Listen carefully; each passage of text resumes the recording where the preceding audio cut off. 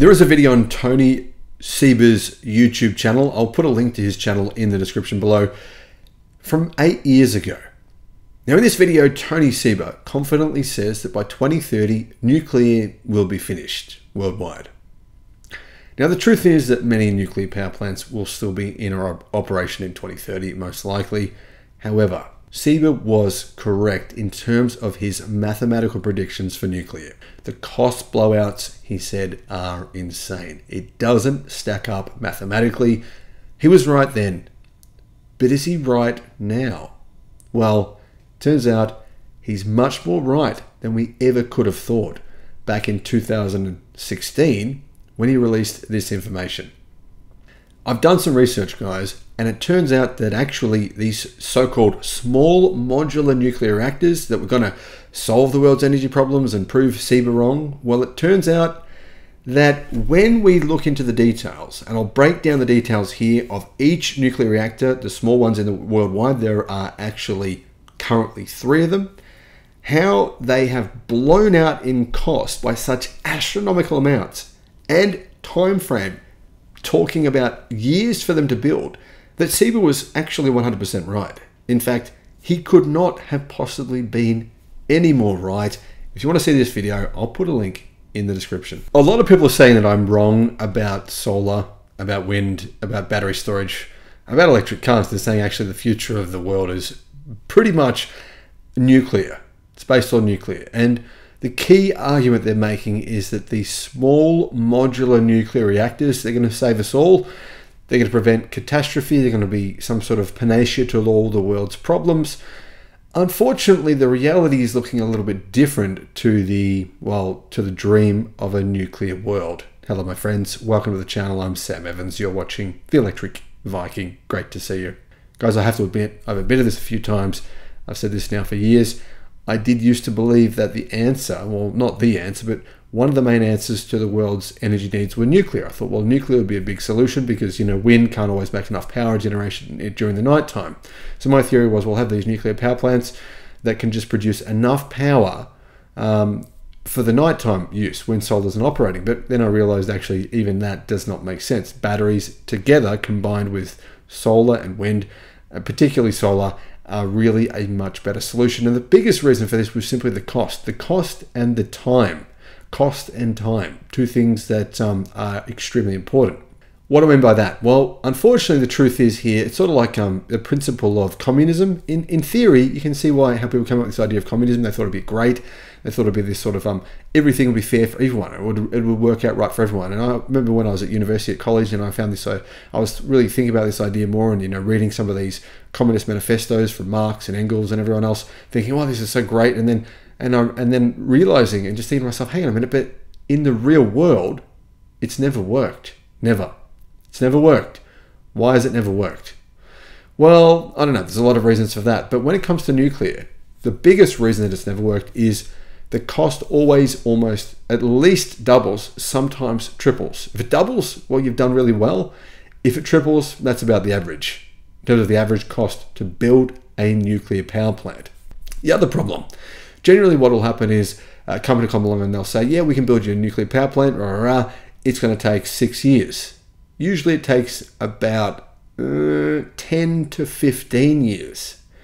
So if, for example, your government becomes, you get a new government coming in, could be Republicans, could be whoever it is in whatever country it is, they come in and say, no, no, no, no, no renewable energy is a joke, it doesn't work, uh, we want to build nuclear reactors. Um, they know they don't have to deal with any responsibility of this because when it actually happens, they're not going to be around anymore. I mean, how often, unless they're like, um, you know, um, Vladimir Putin or the president of China, they'll probably still be around. But everywhere else where people get democratically elected, well, most places where people get democratically elected, 15 years later, that government's long gone. And whoever made the decision to build this nuclear power plant, generally they're probably already retired by now. They don't have to deal with the consequences. The consequences, though, are pretty shocking. And unfortunately, a lot of countries in Europe have decided, well, yeah, nuclear is great, let's do that. But like I said, that's something people decide, politicians decide, knowing they won't have to deal with the consequences when they are still in power. Um, they can just sort of sail off into the sunset, they're retired by the time these things are even built. A new report has assessed the feasibility of deploying small modular nuclear reactors to meet increasing energy demands around the world. The findings, well, put it this way, they don't look very good. Small modular nuclear reactors, which I've reported on many times, in theory actually sound awesome. They sound just brilliant. I mean, honestly, if you've watched a video about about small modular nuclear reactors, I can understand why you believe that they would work. I can understand why you think they. I keep getting freaking emails from people saying, "No, look at this video on nuclear. Look at this dude here, mate. And mate, you're wrong. Nuclear is the solution because um, Joe Nuclear said so. Look at his video. There's the proof." No, guys. Okay, here's the thing. Small modular nuclear reactors, generally defined as nuclear power plants that have capacity that tops out at about 300 megawatts, enough to run around 30,000 US homes, are unfortunately still a pipe dream. According to the Institute for Energy Economics and Financial Analysis, as in the real world, which prepared the report, there are about 80 small modular nuclear reactor concepts currently in various stages of development around the world. Concepts, key point, right? How many different WRX, STI concepts Subaru have made over the years? Have you seen any of them actually get made? Any of those concepts? No, you haven't, have you? Same deal here. While such reactors were once thought to be the solution to the complexity, security risks, and costs of large scale reactors, the report asks if continuing to pursue these smaller nuclear power plants is in fact a worthwhile endeavor at all in terms of meeting the demand for more and more energy around the world. The answer to this question is pretty much found in the report's title. Small modular nuclear reactors are still too expensive, too slow, and too risky. Lots of um, naysaying. I get that. I don't like naysayers either. But um, yeah, uh, the question is uh, to me, it's not really a question of can they work. Yeah, they can for sure, eventually. But in the meantime, solar prices continue to drop, battery prices continue to drop, and we've just seen in California. What do batteries do for you? They solve the problems that we thought we had. They do. If that's not clear enough, though, the report's executive summary certainly gets to the heart of their findings. The rhetoric from small modular reactor advocates is very loud and very persistent, and I can vouch for that. This time will be different because the cost overruns and schedule delays that have plagued large reactor construction projects will not be repeated with the new designs, says the report. But the few SMRs that have been built, small modular reactors, or have been started, paint a very different picture in the real world. One that looks startlingly similar to the past. Massive construction delays are still the norm and costs are continuing to rise. They're too expensive. That's simply the reality. The cost of SMRs is at the forefront of the report's argument against the deployment of the reactors. According to some of the data it provides, all three SMRs currently operating today, there is a total of three worldwide, plus one now being built in Argentina, went miles over budget. And I mean, so far over budget, it's insane. Now, as you can see, the, the one that was built in China, it went over budget by 300%, uh, the one in Russia uh, by 400%, and the one in Argentina by 700%. Yeah, now here's the thing I mean, yeah, it's true that the one in Russia and China are operating, but they did begin building those back in 2015, nine years ago. The report authors point out that a project in Idaho called NuScale had to be scrapped because during its development between 2015 and 2023, costs soared from $9,964 per kilowatt to 21,561—more than double the price per kilowatt of energy produced. It's just simply not mathematically feasible. There's no way you can that stacks up to renewables. It just doesn't.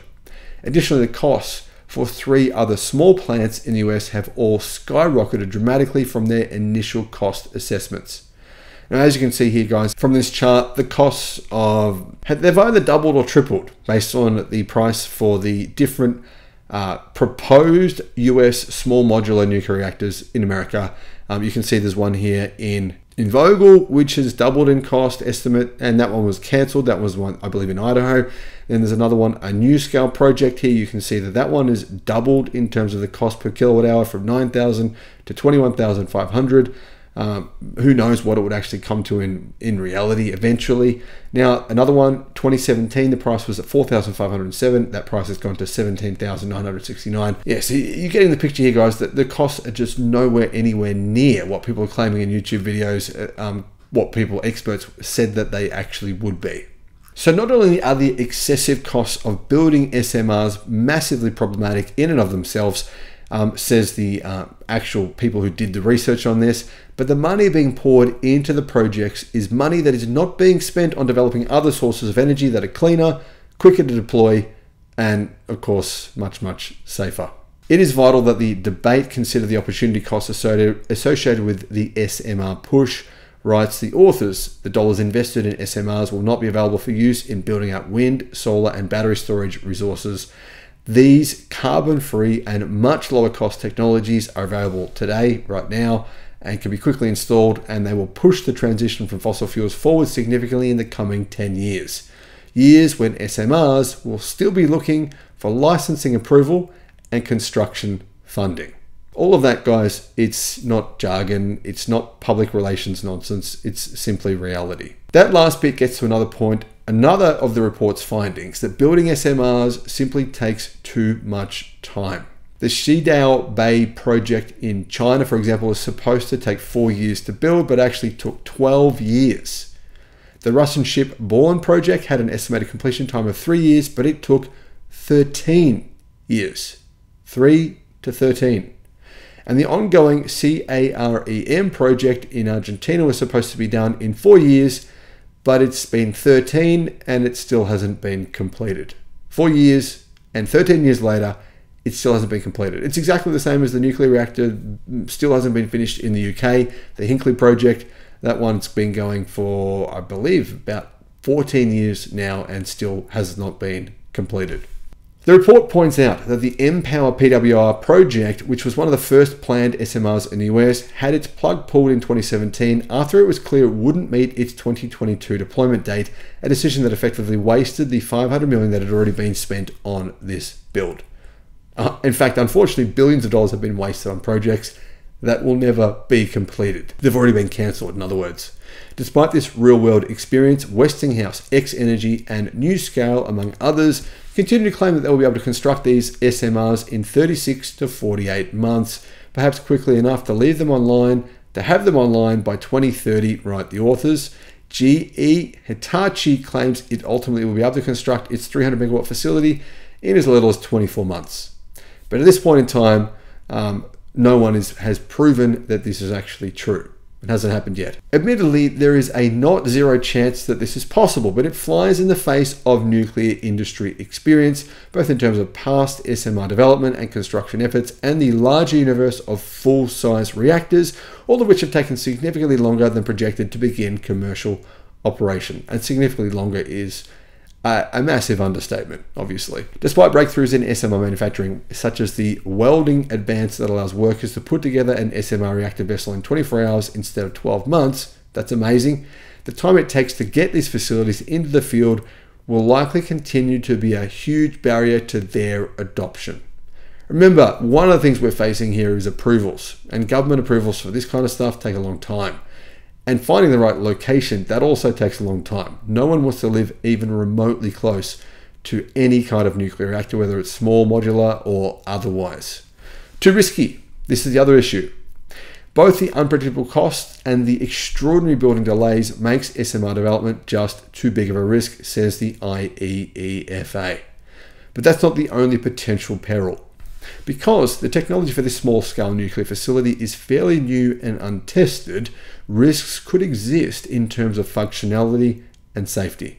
Yeah, that's true. We don't really have a lot of uh, history on whether or not these things could potentially become a Chernobyl. We don't know. For example, the authors question if the new SMRs will actually be able to output the kind of power they claim they can.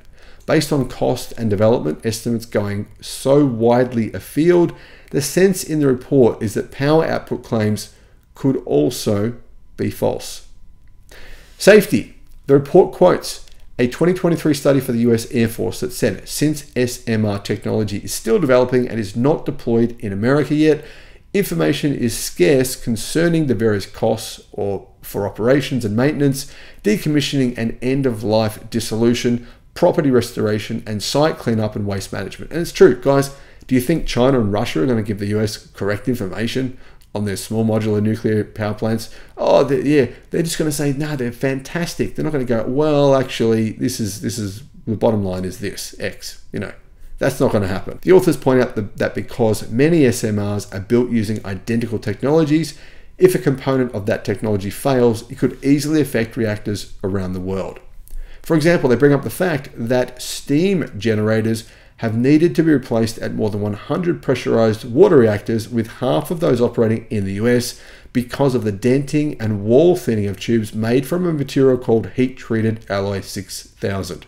Now they're saying that SMRs won't have those same issues. They'll have other issues. We don't know what those are yet, but of course issues will pop up. No technology has ever been perfect. Now newatlas.com says that so too expensive, too slow, and too risky, and not at all where we should be focusing our energy these days, as the study authors make clear in their conclusion. And everything here, guys, really is while proving Tony Seba to be correct. Once again, I know I sound like a broken record, but he's been saying this since I believe 2012, could have been 2014 as well, but I think 2012, 12 years. And he's never been more right than today. Maybe we should just ignore all these um, snake oil salesmen and just um, actually focus on the real the real products we have today in front of us, rather than just critiquing them. Actually, you know, focus on getting them to work because they do work. At least 375,000 megawatts of new renewable energy generating capacity is likely to be added to the US grid in the next seven years. By contrast, IEEFA believes it is highly unlikely any SMRs will be brought online in that time frame. The comparison couldn't be clearer. Regulators, utilities, investors, and government officials should acknowledge this and embrace the available reality. Renewables are the near term solution and just the solution, period. Thanks for watching. But let me know what you think in the comments. Am I right? Am I wrong? Always willing to assess my thinking if you can, you know, not Terrence Howard proof, but, you know, give me some real logical proof of why I'm getting this all wrong. Let me know what you think. Thank you for watching.